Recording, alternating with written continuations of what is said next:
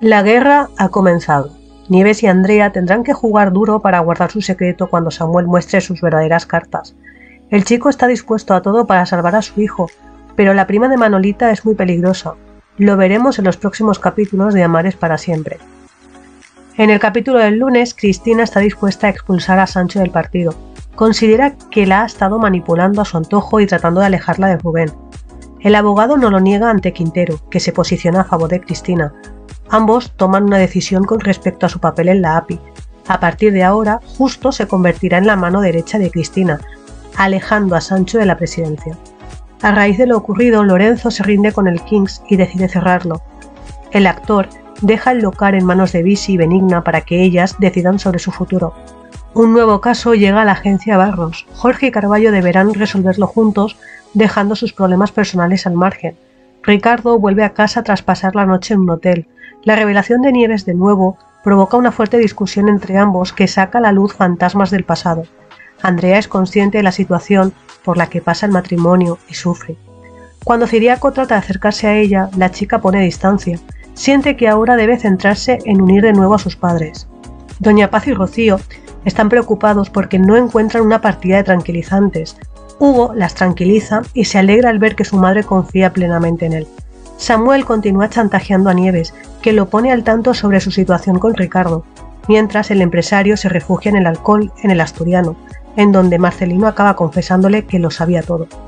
Más tarde, Ricardo se topa con Samuel en la plaza e intenta agredirlo, montando una desafortunada escena de la que los vecinos no pierden detalle. Todo el barrio comenta el bochornoso enfrentamiento entre Samuel y Ricardo en la plaza.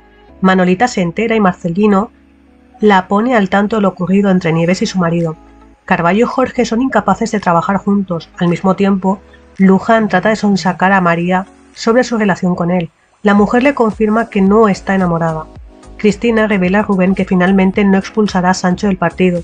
El médico parece decepcionado y le insinúa que puede tener interés por ella más allá de la política.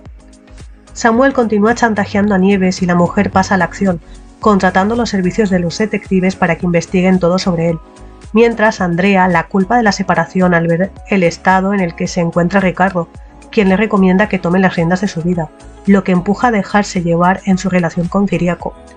La prensa publica una dura crítica contra Cristina. Su imagen no coincide con su discurso. El artículo provoca una crisis en el partido que justo no es capaz de gestionar y pide ayuda a Sancho, quien se niega a volver a la API, el abogado reconoce que aceptó el cargo de asesor por ayudar a Cristina e intenta que ella y Sancho vuelvan a unir fuerzas. Andrea se enfrenta a Nieves que acaba confesándole que Samuel lo sabe todo y está chantajeándola. A Doña Paz le pesa su mala fama y evita acercarse a los vecinos. Visi y Benigna descubren que los agresores de Tobías han sido detenidos por Raúl, el examante de Lorenzo. Felices deciden reabrir el Kings y convertirlo en el local que el actor había soñado. Sancho intenta acercar posturas con Rubén, ofreciéndole un contacto de un conocido internista del Hospital de la Paz, que está interesado en que trabaje en su equipo. Sin embargo, Rubén sigue la defensiva con él y lo toma como una maniobra para alejarlo de Cristina y se niega a dialogar con el abogado. Carballo reconoce ante Cristina que le está resultando muy difícil trabajar con Jorge después de que la rechazara. Al mismo tiempo, Jorge se desahoga con Quintero, quien le sugiere que quizás no está tan seguro de la decisión que ha tomado, ¿Serán capaces de volver a trabajar en equipo?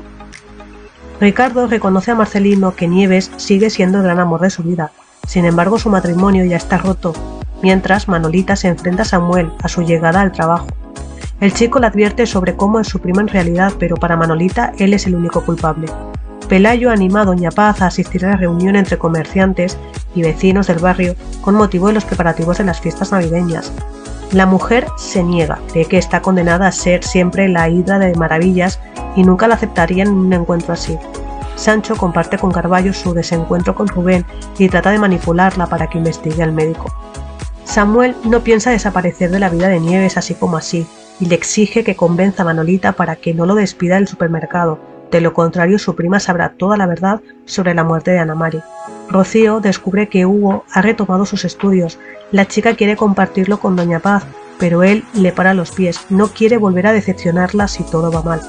Lorenzo descubre que Benigna y Visi mantienen el Kings abierto y se siente traicionado. Solo es una trampa para los que se sienten como él, pues los radicales saben dónde encontrarlos.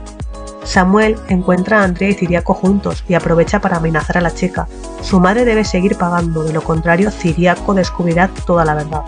Jorge se sincera con Carballo, está profundamente enamorado de ella, pero su relación no puede ser. Se esforzará por mantener sus sentimientos a un lado en el trabajo. Nieves asume su culpa ante Ricardo y le pide que vuelva a casa. Él está dispuesto, pero con una condición, despedir a Samuel. Andrea está muerta de miedo ante las amenazas de Samuel. Nieves presiona a Jorge para que le traiga resultados. Necesitan actuar contra él cuanto antes. Carballo investiga a Rubén. La conversación con Sancho la dejó preocupada y siente que lo debe hacer por Cristina. Animado por Rocío, Hugo por fin confiesa a su madre que ha retomado los estudios y Doña Paz no cabe en sí de gozo. Jorge descubre que Samuel está casado y tiene un hijo. Nieves decide utilizarlo, pero Samuel no se achanta y amenaza con contar todo lo que sabe sobre la muerte de Ana Mari. Carballo descubre que Rubén le echó la culpa a una enfermera de una negligencia suya y no tarda en revelarlo a Cristina, que queda en shock. Ciriaco confía en que Andrea deje a Alberto, aunque ella en realidad lo que está es aterrada por lo que puede hacer Samuel. Carballo y Jorge no avanzan en el caso del robo del cuadro, pero descubren que Hércules engaña a su esposa. Benigna y Lisi idean un plan para que Lorenzo cambie de opinión sobre el Kings. Cristina no duda en enfrentarse a Rubén tras descubrir el motivo real de su vuelta a Madrid. Samuel se muestra impasible ante Nieves y Manolita, que no comprende el motivo por el que su prima no quiere despedirlo. Jorge reconoce ante Luján que está cansado, no hay avances en la investigación sobre Barros y él no puede continuar engañando a María, pero el comisario lo obliga a seguir pendiente de los movimientos de Carballo. En cualquier momento su padre puede contactar con ella y entonces deberán actuar. La complicidad que existe entre Pelayo y Paz no pasa desapercibida para Marcelino, que sonsaca a su padre sobre su interés por la farmacéutica. Gracias a los consejos de su hijo, Pelayo decide proponerle una cita. Lorenzo decide reabrir el Kings convencido por Benigna y Bisi, Andrea recibe un caro regalo de Alberto y Ciriaco descubre que todavía siguen juntos. La chica promete romper su relación con él. Nieves tiende una trampa a Samuel con la ayuda de Andrea. Como resultado, el chico es detenido, acusado de robar una pieza de gran valor. Rubén se enfrenta a Sancho acusándolo de propiciar su ruptura con Cristina, zarandeándolo en plena calle. Carballo retoma el caso de la desaparición de su padre al descubrir que está vivo ha encontrado una prueba que podría llevarle hasta él. Si te gusta mi contenido, te invito a que te suscribas a mi canal. Recuerda activar la campanita para que YouTube te avise en tiempo real cada vez que yo suba nueva publicación y seas el primero o la primera en visualizar mi contenido. Recuerda que cada semana tenemos una cita en este canal en Social J. No lo olvides, Social J.